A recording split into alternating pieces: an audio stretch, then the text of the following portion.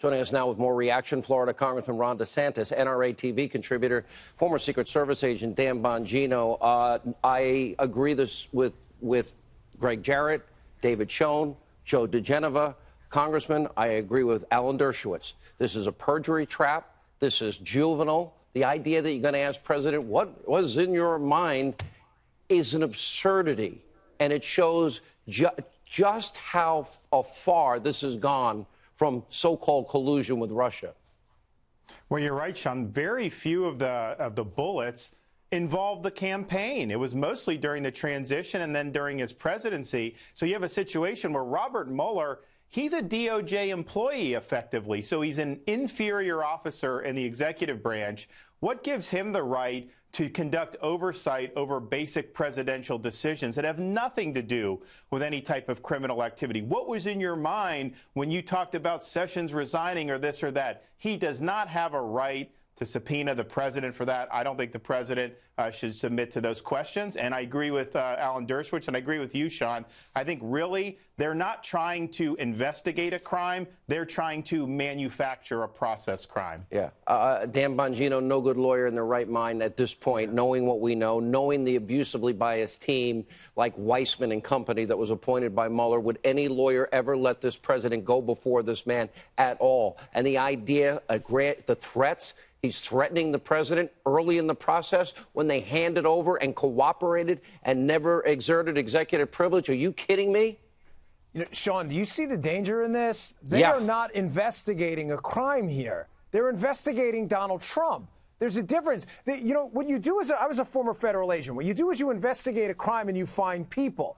You don't find people and then go find the crime. I read the questions, and Sean, these questions are very strategic. Notice how they're left open ended. Now, Ron's a lawyer. He can tell you this too. This is what you do when you interview people of as a course. federal agent. You ask open ended questions. No yes or no questions. to talk Let to trap chat. them in a perjury trap. Exactly. And, Bingo. And, and, and Greg pointed this out, Congress. If there's one thing that deviates and you're on a witch hunt, there's no prosecutorial discretion. The only way it gets that is Hillary Clinton. She gets a, she gets a rigged investigation. The Hillary standard is not going to apply for Donald Trump with Robert Mueller and his merry band of Democratic donors and, and people that withhold exculpatory evidence like Andrew Weissmann. No, it's, he's not going to, he will be under oath, unlike Hillary. Uh, he won't have a friend interviewing him like Hillary had. I mean, it, it, the double standard is so flagrant here. Do we have equal justice under the law, Congressman? Do we have equal application under the law or not in this well, country? And just think about just the fact that these questions are being generated.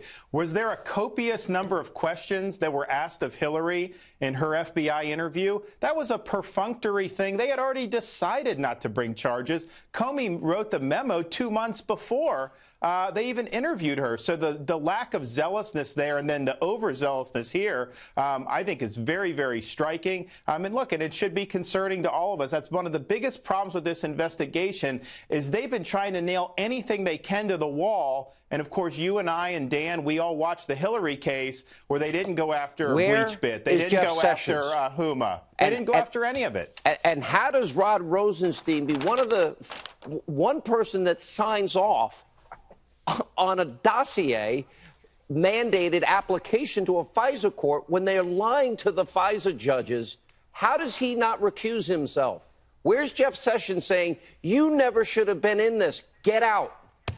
Sean, Rod Rosenstein was also the United States Attorney in Maryland on the Uranium One precursor case, the Tenex case. This guy is so conflicted. How he hasn't recused himself or resigned at this point is amazing. He, he implicated himself tonight against Carter Page. When he Carter said, oh, Page. oh, serious consequences if there's false information in a FISA application.